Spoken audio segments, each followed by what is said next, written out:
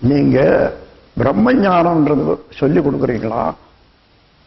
ரொம்ப சாதாரண மக்களுக்கு கூட படிப்பே தெரியாதவங்களுக்கு கூட அந்த பிரம்ம ஞானம் வந்துடுதுன்னு சொல்றாங்க. நீங்க எங்க இருந்து அந்த கருத்து எடுத்தீங்க? வேதத்துல இருந்து எடுத்தீங்களா? புராணத்துல இருந்து எடுத்தீங்களா? அல்லது மற்ற சித்தர்கள் நூல்ல இருந்து எடுத்தீங்களான்னு கேட்டார். நான் என்ன சொல்றது? ஐயா நான் அதெல்லாம் படிக்கவும் இல்லை படிக்க நேரம் தெரியாது.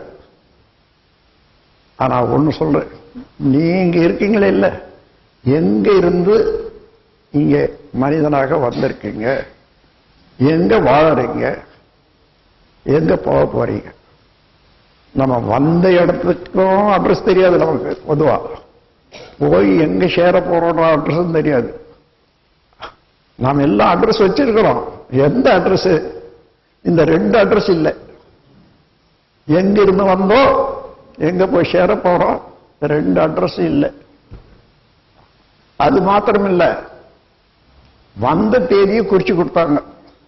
ஆ என்னுடைய பிறந்த நாள் இதுன்னு பிறந்த நாள் கொண்டாடுறதுக்கு வச்சிருக்கோம். ஆனா அந்த எப்பொழுது வந்ததோ அதுலயே போற தேதி இருக்குதா இல்லையா? வந்த தேதியில ரிட்டர்ன் டிக்கெட்டுன்னு வச்சுங்க.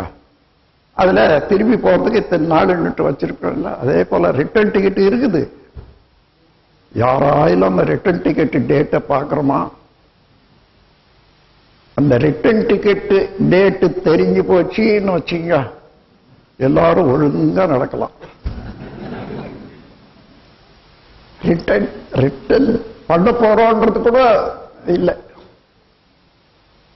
அதுதான் நான் கூட எப்போயிலும் இந்த மாதிரி தொண்ணூத்தி நாலு வயசு போச்சு. இந்த சீக்கிரமாக என் வேலையை முடிச்சுக்கிட்டு போகணும் அப்படின்னு சொல்ல எல்லாரும் வாழ்றாங்க.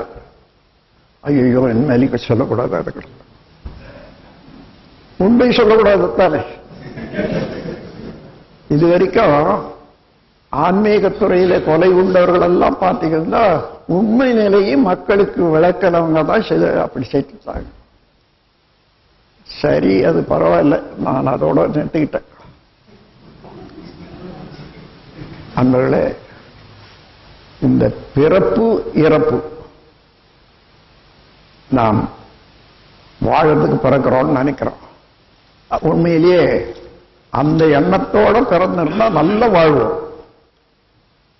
அந்த வாழ்க்கையில எந்த தொந்தரவும் இல்லை. ஆனா இறக்கத்தான் போறோன்றது அந்த முடிவு தெரியாததுனால வரக்கூடிய தவறுகள் தான் எல்லா தவறுகளும். ஒரு கோடி சேர்த்து வச்சுக்கிறோம் அந்த ஒரு கோடி எங்க போட்டா அடுத்த தடவை பத்து பெர்சன்ட் கூட வரணும் நினைக்கிறோம் ஆனா இந்த ஒரு கோடியை சேர்த்து வச்சுக்கிறேன் நான் போகும்போது எடுக்கும் போறது என்ன? எல்லாரையும் கோடி கோடியா சேர்த்தவங்களெல்லாம் என்ன செய்யறாங்க போகும்போது அப்படி தள்ளிட்டு தான் போடுறாங்க இதான் ஒரு எடுத்து போறான்? அவன் செய்த செயலினுடைய கருத்து அந்த கருமையத்தில் உள்ள சார்ஜ் இதை தவிர வேற ஒன்றும் இல்லை. இன்று கருமையத்தினுடைய உண்மை உணர்ந்த நீங்கள் எல்லோரும் இனிமேல் எந்த எந்த செயலை செய்யலாம்? இந்த கருமையத்தை தூய்மையாகவும் வலுவுள்ளதாகவும் நல்ல நிலையிலையும் வைத்துக் கொள்றதுக்கு என்ன செய்யணும் என்றதை இனிமே ரொம்ப சுலபமாக தெரிந்து செய்யலாம். அதற்கு ஒரு கவியை எழுதியிருக்கேன் அதை பார்த்துக்க யாருக்காவது தெரியுமா ஆ நிறை சொல்லுங்க.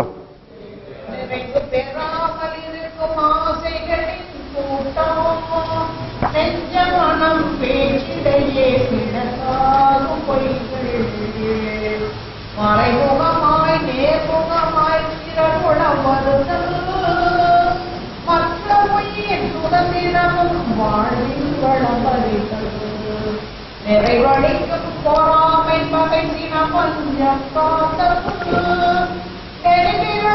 உணவுளை புழக்கம் கருமையம் தன்னை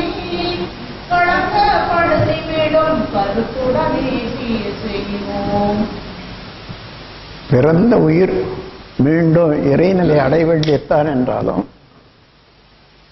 மத்தியில வளர்ச்சியில் ஏற்பட்ட இந்த களங்கள் மறையிற வரைக்கும் இறைநிலையோட கருமையும் இணைய முடியாது.